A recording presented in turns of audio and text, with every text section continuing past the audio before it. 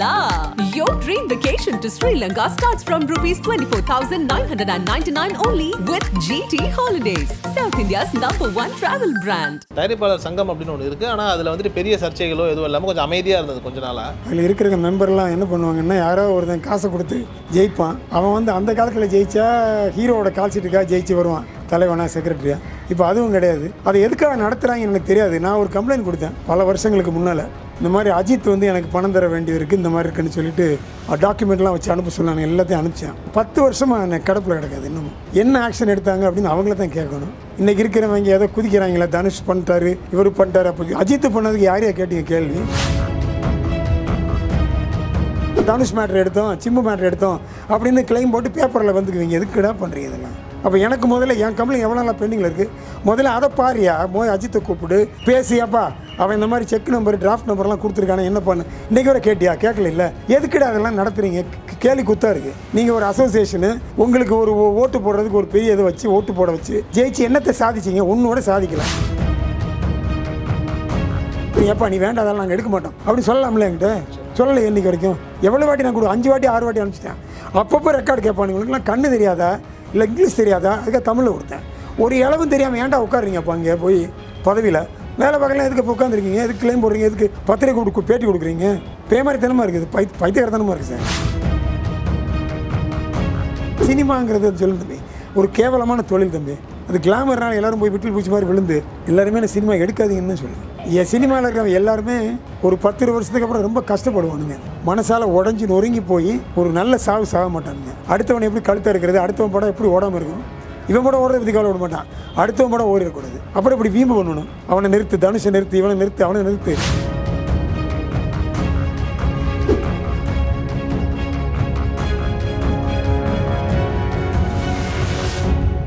ஆகாயம் நேர்களுக்கு வணக்கம். நான் உங்கள் அஷ்ரஃப் இன்று நம்மோடு இருப்பது தயாரிப்பாளர் மாணிக்கம் நாராயணன் அவர்கள். சார் வணக்கம். சார் சார் ஒரு தயாரிப்பாளராக உங்ககிட்ட கேட்குறேன் தயாரிப்பாளர் சங்கம் அப்படின்னு ஒன்று இருக்குது ஆனால் அதில் வந்துட்டு பெரிய சர்ச்சைகளோ எதுவும் இல்லாமல் கொஞ்சம் அமைதியாக இருந்தது கொஞ்ச நாளாக திடீர்னு வந்துட்டு இப்போ பார்த்தோம் அப்படின்னா நிறைய விதமான ரிஃபார்ம்ஸ் கொண்டு வராங்க. தனுஷை வந்துட்டு அவர் படம் பண்ணுறதுக்கு முன்னாடி என்கிட்ட கேளுங்கங்கிறாங்க. நவம்பர் ஒன்றாம் தேதியிலேருந்து படப்பிடிப்புகள் ரத்துங்கிறாங்க மாதிரியான ஒரு நிலையெல்லாம் சொல்கிறாங்க இல்லையா? ஏன் இந்த பரபரப்பு திடீர்னு? இந்த சொன்னீங்களே சைலண்ட்டாக இருக்காங்கன்னு. அவங்களால ஒருமே வேலை பார்க்க முடியாது. அதனால சும்மா தான் இருப்பாங்க அவங்க. அதில் இருக்கிற மெம்பர்லாம் என்ன பண்ணுவாங்கன்னா யாரோ ஒருத்தன் காசை கொடுத்து ஜெயிப்பான். அவன் வந்து அந்த காலத்தில் ஜெயித்தா ஹீரோவோட கால் சீட்டுக்காக ஜெயிச்சு வருவான்.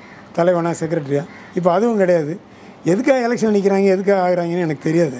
அவங்க வந்து ஒரு அசோசியேஷனாக இருந்து ஃபைட் பண்ணலாம் ஏதாவது சாதிக்கலாம் அப்படின்னா என்ன இதுவரை சாதிச்சாங்க எனக்கு தெரியாது இது வரைக்கும் கவர்மெண்ட்டில் நிலம் கொடுத்தாங்க அதை ஒழுங்காக யூஸ் பண்ணி பத்து பேர் கொடுக்கல. எதுவுமே பண்ண மாட்டாங்க. எந்த ஒரு எந்த ஒரு போராட்டத்திலையும் இவன் ஜெயிச்சதா ஏதாவது சரித்திரம் இருக்கு? அவங்களுக்கு தெரியுமா? நீங்கள் எதில் அதோ லைட் மேன் யூனியன் இருக்கட்டும் பெப்சி இருக்கட்டும் எங்கேயாவது சண்டை போட்டு ஜெயிச்சிருக்காங்களா இது வரைக்கும் அவங்களால ஜெயிக்க முடியாது. ஏன்னா அங்கே வர்றவன் எல்லாருமே வந்து ஒரு சொதப்பலான ஆட்கள் தான் இருப்பாங்க. அவங்களுக்கு வந்து எதுக்கு அவன் அரசியல்வாதி மாதிரி தான் சும்மா ஏதோ ஒரு பவர் இருந்தால் அதை வச்சு கொஞ்ச நாளைக்கு ஆட்டம் காட்டி அப்புறம் போகலான்னு நினைப்பானுங்க.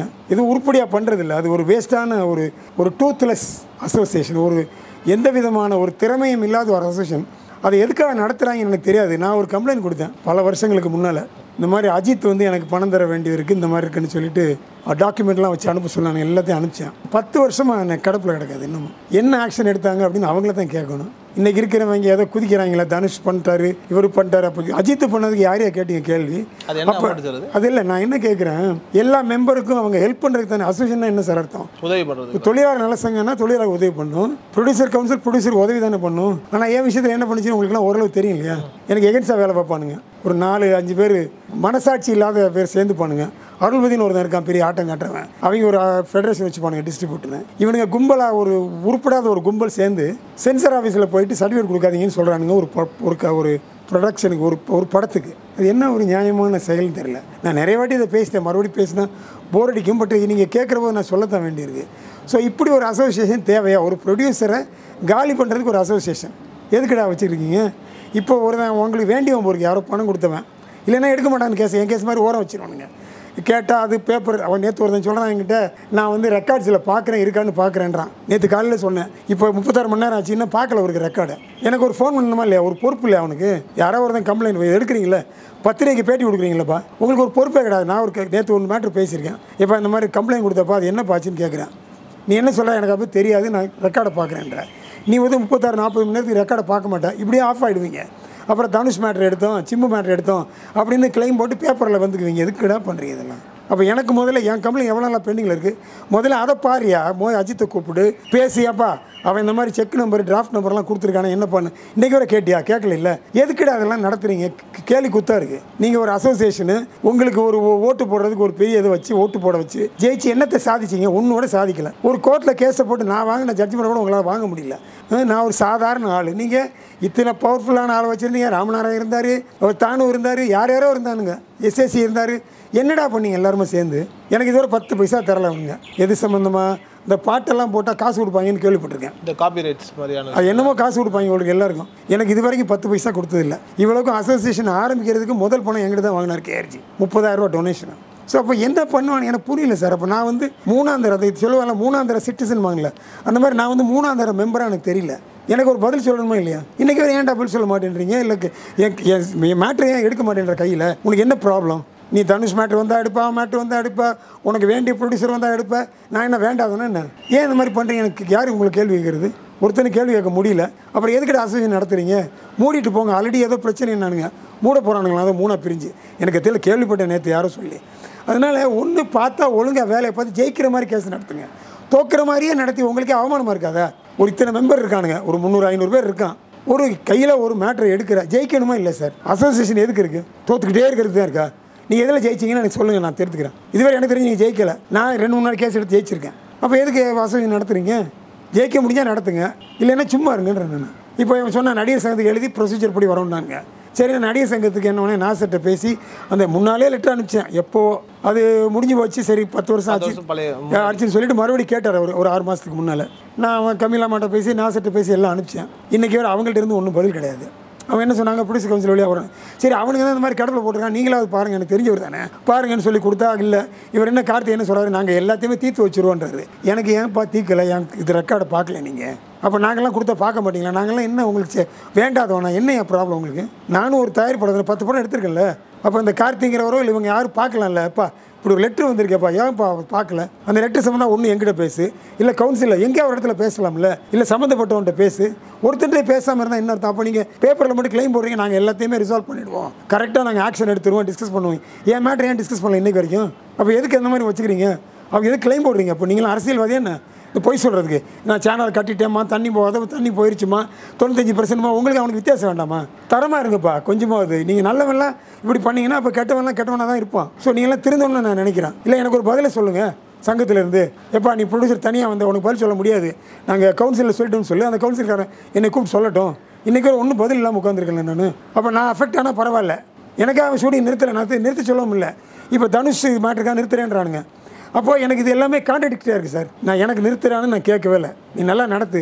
எனக்குள்ள காரியத்தை பண்ணுன்றேன் என்ன சும்மா பூச்சாண்டி காட்டுவானுங்க சார். இதெல்லாம் நடந்துடும் இதெல்லாமே தோற்று போயிடுவானுங்க. ஒன்றும் மேலே ஆகாது. சார் ஆனால் உங்களுக்கு இப்படி பண்ணாமல் இப்போ தனுஷோட விஷயத்தில் இப்படி ஒரு ஸ்டெப் எடுக்கிறதுக்கான காரணங்கள் அப்படின்னு சொல்லி அவங்கள தான் கேட்கணும். அவனுங்களை சம்மந்தப்பட்டவனு கேளுங்க. என்ன கேட்டு பிரயோஜனம் எனக்கு தெரியல. அதை என்ன சொன்ன நான் ஒருவேளை மூணாந்தர மெம்பரான்னு தெரியாது எனக்கு.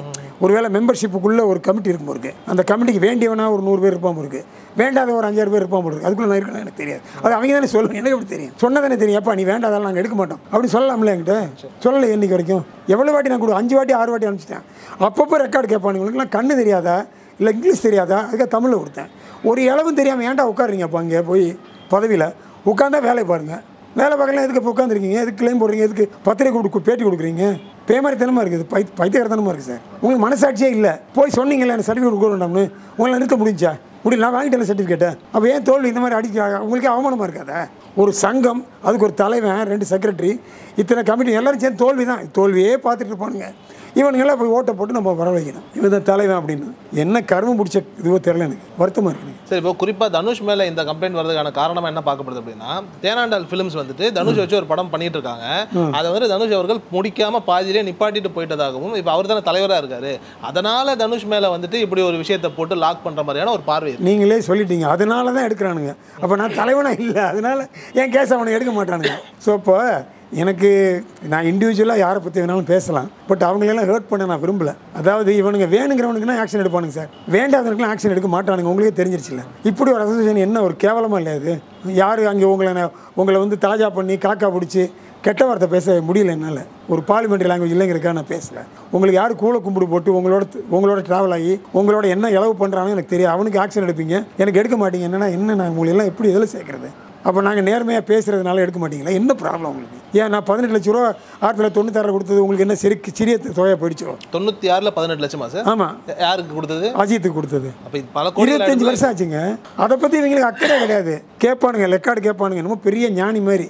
கோர்ட்டில் கேட்குற மாதிரி கேட்பானுங்க போலீஸ் மாதிரி. ஆனால் ஒரு அளவும் பிடுங்க மாட்டானுங்க. நானே ஃபெட்டப்படையோ எதுக்கு அடிக்கடி கேட்குறீங்க? படிக்க மாட்டீங்களா கொடுத்தா? படிச்சுட்டு அப்போ கமிட்டி மீட்டிங்கிறானுங்க அப்போ எடுக்கணும்ல. ஏதோ ஒரு நாளாவது எடுத்து பேசுனீங்களா? எப்போ அந்த செவன் சார் ஒருத்தன் கம்ப்ளைண்ட் கொடுத்தாரு அது என்னன்னு பாருங்கப்பா. ஒருத்தர் கூட அக்கறை இருக்காது. ஜிவி செத்தப்போ என்னை கூப்பிட்டீங்கல்ல? எனக்கு தான் விவரம் தெரியும்னு. அப்போ என்னை தேவைப்படல நான் ஒரு நாளைக்கு என்னைக்காவது? அப்போ எனக்குள்ள மேட்டரையும் பார்க்கணும் ஏன் பார்க்கல? உனக்கு வேண்டியவங்க கொடுத்தா பார்ப்பீங்க வேண்டாதவங்க கொடுத்தா பார்க்க மாட்டீங்க. என்ன கருவமோ தெரிலங்க சார் அந்த பதினெட்டு லட்ச ரூபா கொடுத்தேன்னு சொன்னீங்களா சார் எந்த படத்துக்காக எந்த அதாவது படத்துக்காக இல்லை தம்பி அது பூரா நிறைவேற்றி சொல்லிட்டேன் இன்டர்வியூவில் எல்லாருக்கும் பயங்கரமாக போர் அடிக்கும் தம்பி. அந்த பையன் முதல்ல வந்து என்கிட்ட வந்து அப்பா அம்மா ஊருக்கு போகிறாங்கன்னு ஆறு லட்ச ரூபா பணம் கேட்டான். ரெண்டு லட்ச ரூபா வந்து இந்த பேங்க் ஆஃப் மகாராஷ்டிராவோட டிமாண்ட் டிராஃப்ட் மீதி நாலு லட்ச ரூபாய்க்கு வந்து ஸ்டாண்ட் சார்ட்டோட ஸ்டாண்டர்ட் சார்ட் ஆமாம் அதனுடைய பே ஆர்டர் இப்போ அந்த ஸ்டாண்டர்ட் சார்ட்டோட பே ஆர்டர் நம்பர் என்னால் எடுக்க முடியல பிகாஸ் ரொம்ப காலம் கடந்து போச்சு. நல்ல வேளை இதனுடைய கவுண்டர் ஃபாயில் டேக்லாம் என்கிட்ட இருக்குது செக் புக்கெல்லாம் ஸோ இந்த டீட்டெயில் நான் எடுத்துக்கிட்டேன் அதை தவிர அவருக்கு அஞ்சு லட்சம் அஞ்சு லட்சம் ரெண்டு வாட்டி கொடுத்ததுக்கு என்னுடைய லெட்ஜரில் என்ட்ரி இருக்குது அவர்கிட்ட நம்ம சொன்னது பன்னெண்டு லட்ச ரூபா உங்களுக்கு இந்த வெடிமுத்து படத்துக்காக நான் கொடுத்தேன். அவர் என்ன சொன்னார் அஜித் என்கிட்ட? சார் அந்த பணத்தை நீங்கள் விட்டுருங்க. நாம் வேறு ஏதாவது படம் பண்ணி அதை சரி பண்ணிக்கலாம். அப்படின்னு சொன்னதுனால நம்ம நம்புகிறோம் ஒரு ஹீரோ சொல்கிறான் சரி அவன் அவன் நல்லா வேண்டுறாங்க அப்படின்னு நம்ம நம்புகிறோம் அவன் இப்படியெல்லாம் குல்மால் வேலை பண்ணான் நம்மளுக்கு தெரியாதுல்ல. ஜென்டில்மேன் சொல்லிக்குவான் ஆனால் வந்து ஒத்துக்க மாட்டான். பதில் சொல்ல மாட்டான். அப்புறம் கடவுளை கூப்பிடுவான். தெரியுமா உங்களுக்கு? கடவுளை கூப்பிடுவான். கடவுளை வச்சுக்கிட்டு தான் நம்ம பேசணும்பான். கடவுள் இல்லை அவரால் கூப்பிட முடியும் இருக்குது என்னால் முடியாது. பணம் கேட்டால் உதவி தான் பண்ண தெரியும். கடவுளை கூப்பிட்டு வச்சு அங்கே கோயில் இருக்குது பட் கூப்பிட்டு வரணும் நான் கடவுள். வரமாட்டார். ஸோ கொடுக்க வாங்குறவனுக்கு அக்கறை அறிவு வேணும் பொறுப்பு வேணும். நான் கொடுக்குறேன் நான் மக்கள் தான் நிறைய பேர் தெரியுமே நான் கொடுத்துருவேன் எல்லாருக்கும். கொடுத்துட்டு பின்னால் அலைவேன். அப்படி தானே இப்போ ஏன் பிரச்சனை தான் கொடுத்துட்டு தானே நான் பிரச்சனைக்குள்ள இருக்கேன். ரெண்டு கோடி தர வேண்டியதாக ஐம்பது லட்சம் தரேன்றான். அதையும் உடனே தர மாட்டாங்களா? அஞ்சஞ்சு லட்சமாக தருவாங்களாம். ஒரு முப்பது வருஷம் தருவான் போல எனக்கு தெரில இவனுங்க எல்லாருமே இந்த சினிமாங்கிறது சொல்லு தம்பி. ஒரு கேவலமான தொழில் தம்பி. அது கிளாமர்னால எல்லாரும் போய் விட்டில் பூச்சி மாதிரி விழுந்து எல்லாருமே நான் சினிமா எடுக்காதீங்கன்னு சொல்லுவேன் என் சினிமாவில் இருக்கிறவங்க எல்லாருமே ஒரு பத்து வருஷத்துக்கு அப்புறம் ரொம்ப கஷ்டப்படுவானுங்க. மனசால உடஞ்சி நொறுங்கி போய் ஒரு நல்ல சாவு சாக மாட்டானுங்க. அதெல்லாம் நீ ஒழுங்காக இருக்கணும்னா சினிமாவுக்குள்ளெல்லாம் வராதீங்கடான்னு சொல்லுவேன் தெரியாமல் நம்ம வந்தாச்சு. வந்தால் படம் எடுத்தாச்சு ஒரு பத்து படம் ரைட் ஓகே ஆனால் அந்த மோகம் விடாது எங்களெல்லாம் அது ஒரு பெரிய அதாவது இது ஒரு போகப் பொருள் மாதிரி. சினிமா என்பது ஒரு போகப் பொருள். அது உங்களை பிடிச்சதுன்னா பிடிச்சிட்டே இருக்கும். இவ்வளோ தூரம் நம்ம பேசுகிற சினிமா எடுப்போம் மறுபடியும் என்ன எடுப்போம் தெரியாது. அப்படி என்ன? அந்த மாதிரி ஒரு இண்டஸ்ட்ரி அது. அதுக்குள்ளே போகிறது அவ்வளோ நல்ல விஷயங்கள் கிடையாது. ஏன்னா நல்லவனுங்க எல்லா இடத்துலையும் இல்லை. இதில் ரொம்ப மோசமானவங்க தான் இருக்கானுங்க. அடுத்தவனை எப்படி கழுத்த இருக்கிறது? அடுத்தவன் படம் எப்படி ஓடாமல் இருக்கும்? இவன் படம் ஓடுறத பற்றி கவலை விட மாட்டான். அடுத்தவன் படம் ஓடிடக்கூடாது. அப்புறம் இப்படி வீம்பு பண்ணணும்? அவனை நிறுத்து தனுஷை நிறுத்து இவனை நிறுத்து அவனை நிறுத்து. இந்த மாதிரி சா- வாங்கிட்டானா? ஏன்டா நிறுத்துறது? பேசணும். பேசிவிட்டு அவனை கூப்பிட்டு உட்கார வச்சு பேசி முடிக்கிறத விட்டுட்டு. நிறுத்து கருத்துன்னு கம்ப்ளைண்ட் கொடுத்து என்ன பண்ண போகிறீங்க நீங்கள் நிற்குமா எனக்கு தெரியாது. எனக்கு தெரிஞ்சு தோற்று போயிடுவானுங்க பார்க்கலாம் ஜெயிச்சா பார்க்கணும் சார் எனக்கு ஒன்றே ஒன்று தான் சார். இப்போ அஜித் அவர்களுக்காக நீங்கள் அந்த வெடிமுத்துக்காக ஒரு பதினெட்டு லட்சம் பதினாலு லட்சம் கொடுத்தீங்க பன்னெண்டு லட்சம் தான். பன்னெண்டு லட்சமா? அந்த படம் வந்துட்டு திருப்பி எடுக்காததுக்கான ஒரே ஒரு காரணம். அதை எடுத்தாங்களே முடிச்சிட்டாங்களே. அவர் என்ன சொன்னார் அஜித் நீங்கள் விலகிருங்க நான் இனிமேல் ஷூட்டிங் போக மாட்டேன்ட்டாரு. பட் எடுத்தவரை வச்சு வேற என்னமோ கதையை பண்ணி படத்தை ரிலீஸ் பண்ணிட்டாங்க. என்ன பேர்ல? அவள் வருவாளாங்கிற பேரில். அந்த படம் ஆனால் ஓடவே இல்லை சார்? அது அப்படியே ஓடும். அஜித் பாதி தான் நடிச்சாரு. என்ன பண்ணாங்கன்னு தெரியாது கதையை. எனக்கு கேர் எழுதி கொடுத்தாரு. அவங்கள்ட்ட பார்த்து பணம் வாங்கி தரேன். அந்த கொடுத்த பணம் பன்னெண்டு லட்சத்தை வாங்கி தரேன் எழுதி கொடுத்தாரு. சும்மா எழுதி கொடுத்தானுங்க. அப்புறம் அந்த படம் ரிலீஸ் டயத்தில் வந்து ஆலயம் ஸ்ரீராம் வந்து உங்களுக்கு பத்து லட்ச ரூபா தருவோம் எழுதி கொடுத்தானுங்க. இதெல்லாம் எழுதி கொடுத்தானுங்க. அந்த செத்தும் போயிட்டான் ஆலயம் ஸ்ரீராம்.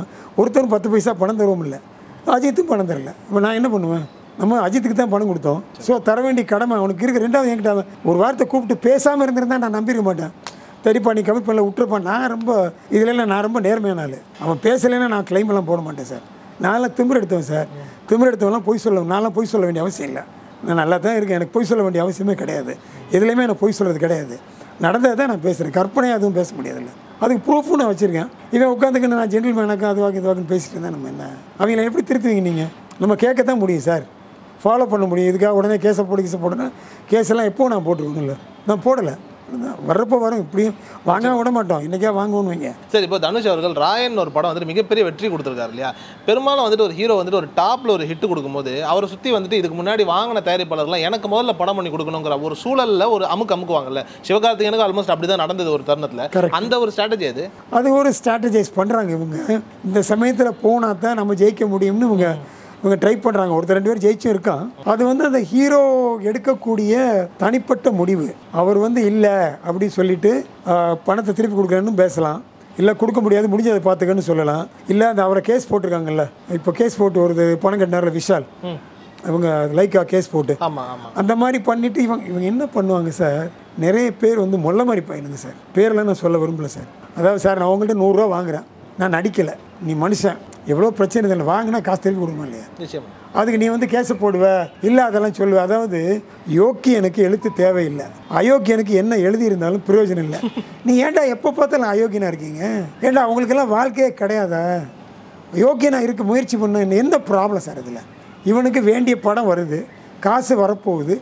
வாங்கின பணத்தை எதுக்கு கொடுக்க மாட்டேன்ற? இல்லை வாங்கினவனுக்கு எதுக்கு தகராறு பண்ணுற இப்போ நான்லாம் எனக்கு தெரியாது சார் தகராறு பண்ண சத்தியமாக தெரியாது. நான் அப்படி பேசுவேன் வாங்கினால அவனை போட்டு கையை ஒடிச்சு காலை ஒடிச்சதெல்லாம் நான் பண்ணுறது கிடையாது சார். கேட்க வேண்டியதை கேட்போம் நான் வருத்தத்தில் கோவமாக பேசுவோம் அவ்வளோதான் அதுக்காக உடனே அவன் எதிரின்னு அர்த்தம் இல்லை நம்மளுக்கு. அதை நம்மளுடைய ஆதகத்தை எப்படி சார் சொல்கிறது நீ ஜட்ஜாக உட்காந்து கேட்டுகிட்டே இருக்கலாம். உனக்கு ஒன்றும் அஃபெக்ட் பண்ணாதியா? நான் அஃபெக்ட் பண்ண பாட்டி நான் கத்தத்தான் செய்வேன். நான் புலம்பலை. நான் நியாயம் கேட்குறேன். நியாயம் கேட்குறேன் என்ன பண்ணுவான்? பராசக்தியில் சிவாஜி என்ன வசனம் எழுதினார் அவர்? அது உடனே சிவாஜி புலம்புறான்னு சொல்லுவீங்களா? அது நியாயம் ஒத்துக்கிட்டல அப்போ என்ன ஏன்டா புலம்புறான்றீங்க? கிறுக்கா அவங்களுக்கு. அவனுக்கு ஒரு நியாயம் எனக்கு ஒரு நியாயமா? எல்லாரும் இப்படி தான்டா கத்துவான் பாதிக்கப்பட்டவன். முதல்ல அதை தெரிஞ்சு நீ எல்லாம் முதல்ல மனுஷனாக இருக்கடா. உங்களுக்கு கோவம் வரலன்னா நீ ஃப்ராடு பொறுக்கின்னு அர்த்தம் அதில்ல உனக்கு கோவம் வரணும்ல நீ எமோஷன் தான்டா முக்கியம். படம் எடுத்தால் எதெல்லாம் காட்டுறீங்க? எமோஷன் நடந்தானே படம் ஓடும். நிச்சயமா. எமோஷன்லாம் படம் எப்படி ஓடும்? நான் எத்தனை வாட்டி சொல்லியிருக்கேன் எமோஷனாக படம் எடுக்கணும்னு. அப்போ நீங்கள்லாம் மனுஷனாக இருந்தீங்கன்னா உங்களுக்கு எமோஷன் இருந்தால் நீ புரிஞ்சுப்ப. உங்களுக்கு எமோஷன் இல்லாத எருவு மாடை வந்து பண்ணிக்கிறது என்ன நீ புரிஞ்சுக்க மாட்டேன் உனக்கு எப்படி புரி பண்ணிக்கு எப்படி புரியும்? கரடிக்கு எப்படி புரியும்? நீ மனுஷனாக இருறா அப்போ என்ன புரிஞ்சுக்க. எனக்குள்ள வேலையை பாருன்ற நான். இது என்ன தப்பு இருக்குது எவனோ ஒரு நாய் எவனோ ஒருத்தன் பொ- புலம்புறான்னு சொல்லுவான். ஐ டோன்ட் கேர் உனக்கு அது புலம்பலாம் தெரியும். எனக்கு இது வந்து நியாயமான கேள்வியை நான் கேட்குறேன். அவன் பதில் சொல்ல கடமைப்பட்டவன் நாய் அவன் ஓடி ஒளிகிறான் அவன் என்ன சார் அர்த்தம்? ஏன்டா அவனுக்கு தில்லு இருந்தால் வர வேண்டியதானே? வந்து இந்த மாதிரி பண்ணலை கொள்ள சொல்ல வேண்டியதானே தில்லு இல்லை நீ ஓடித்தானே ஒதுக்கிற? அப்போ என்ன அர்த்தம்? பெரிய சாமர்த்திய சிலை நீ சைலண்டாக இருந்துருவ. இந்த கவர்மெண்ட்டில் சில விஷயம் லெட்டர் எழுதினீங்கன்னா பதிலே சொல்ல மாட்டாங்க. அஞ்சு வருஷம் பத்து வருஷத்துக்குலாம் அதுக்கு தான் ஆர்டிஐ வந்தது. இப்போவும் பதில் சொல்ல மாட்டாங்க. அதாவது இதெல்லாம் என்ன ஒரு அளவு பிஹேவியர் எனக்கு புரிஞ்சிக்க முடியல சார். எனக்கு வந்து I have gone through lot of problems in my life எந்தெந்த மட்டமானவனுங்க எனக்கு கெட்ட வார்த்தை யூஸ் பண்ண முடியல. எனக்கு கெட்ட வார்த்தை எல்லாத்தையும் நீ இமேஜின் பண்ணிங்க அப்போ நான் பேசுகிறேன் அவ்வளோ கோவம் வருது சார் பதில் சொல்ல மாட்டானுங்க. கேள்வி கேட்டால் ஒதுங்கிடுவானுங்க அப்புறம் அவனை கேளு இவனை கேள்வி தள்ளி விடுவானுங்க. ஏன்டா? உனக்கு டேரெக்டாக எனக்கு உனக்குள்ளே நீ பதில் சொல்லாமல் எப்படி இருப்பேன் ஒரு வாட்டி வேட்டையாளர் சம்பந்தத்தில் எனக்கு ஒரு பிரச்சனை எழுதின போது ஆனந்த விடலாம் மன்னிப்பு கேட்க வச்சுட்டேன் நான். அதாவது தப்பு பண்ணால் மன்னிப்பு வைக்கணும் சார். யாராக இருந்தா என்ன நீ? நீ எவனா இரியா? நீ தப்பு பண்ணால் மன்னிப்பு வைக்கணுமா இல்லையா? நீ தப்பு பண்ணிகிட்டே இருப்ப ஓடி ஓடி ஒளிஞ்சிட்டே இருப்ப. நாங்கள் உட்காந்து கத்திகிட்டே இருக்கோம். நீ நீ- ஹீரோங்கிறனால உன்னை பற்றி எழுதுவானுங்க. நான் சாதாரண நாள் என்னை பற்றி எழுத மாட்டேன். எனக்கு அதை பற்றி கவலை இல்லை. எங்கேயோ ஒரு வரையில சொல்லித்தானே அவன் உன்னை பற்றி பெரிய உனக்கு இமேஜ் பில்ட் பண்ணது இல்லை எனக்கு நான் ஓட்டு வாங்க போகிறதும் கிடையாது இமேஜ் எனக்கு தேவையில்லை. நான் செவனே நீ வேலை பார்த்துட்டு இருக்கேன். நீங்கள் வந்து கேட்குறீங்க நான் பதில் சொல்ல வேண்டியது ரொம்ப நன்றி சார். நேரத்தை! Your dream vacation to Sri Lanka starts from rupees 24,999 only with GT Holidays, South India's number one travel brand.